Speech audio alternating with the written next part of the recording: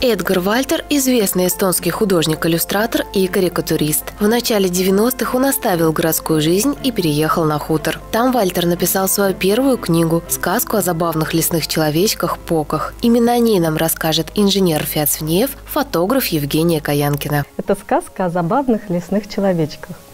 Она вышла в 1994 году в Эстонии и имела огромный успех.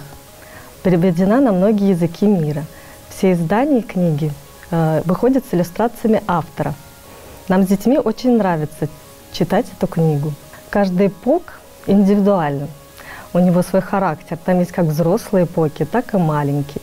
Поэтому среди каждого пока человек может найти себя. Пришла великая сушь, поком стал, колоть ноги. Им было неуютно в том месте, где они жили. И они стали искать новый дом – их путешествие было интересным. Они наблюдали за природой, смотрели, э, что происходит вокруг, где же будет их новый дом. И вот найти свое место, дом, это очень важно для маленьких и взрослых людей. Поки наткнулись на большую поляну, где стоял старый дом.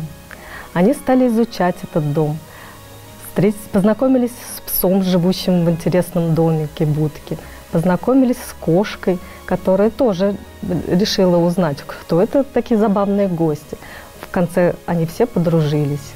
Старик Пеку тоже полюбил своих новых друзей и стал впоследствии чем-то на них похож. В книге очень много интересных историй, приключений, которые пережил э, Пеку, старик Пеку со своими друзьями. Как-то они пошли на рыбалку на озеро – водная гладь. Э, Бокам очень понравилось. Вообще они любили купаться и что-то мокрое. На озере Поки встретили уток, гуляли по мостику. Во время ловли э, наблюдали за стариком Пеку, как он кидал сеть, как доставала рыбу. Спрашивали, что он будет с ней делать. То есть они вели себя совершенно как дети. В конце концов, это приключение – Э, стал для них открытием и растений, и животного мира. Вот в этом кусочке у меня поки ассоциируются с маленькими ребятишками. Поки любопытны, изучают мир. Э, в принципе, взрослым тоже иногда нужно оглянуться, остановиться и посмотреть на красоту природы. Еще один забавный момент – это когда выпал снег. Старик Пеку построил э, для своих друзей снежную бабу – когда замерзло озеро, они пошли наблюдать за спящими деревьями, за следами зверей. А, затем они кололи дрова и грелись вечером у камина. Эту книгу нужно прочитать всем, кто, э, может быть, много загрустил. Там есть интересные, смешные моменты. Может быть, кто-то хочет э, просто отдохнуть душой, потому что, когда читаешь эту книгу, все легко, можно о чем-то размышлять, думать. Э, замечательные иллюстрации помогают в восприятии текста. Не зря автор их э, делал сам, чтобы передать полноту того, что он э, видел, хотел донести до читателя. Кончалось лето, все говорило о приближении осени. Природа меняла краски.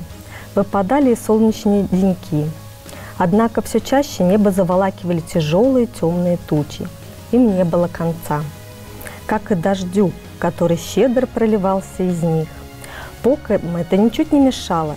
Их защищали травяные кафтанчики. Они занимались своими делами во дворе, в саду или в ближайшем лесу, собирали для пеки ягоды и грибы, помогали носить с огорода овощи в погреб. Правда, они уже меньше суетились, да и куда им было торопиться? Но для Пеки погода была не столь благоприятной. Он то дело промокал под дождем до нитки, и приходилось сушить одежду у теплой печки, заваривать целебный чай и держать ноги в горячей воде. Пека не хотел заболеть, но никак не хотел, и он не заболел. Эдгар Вальтер, Поки, рекомендую.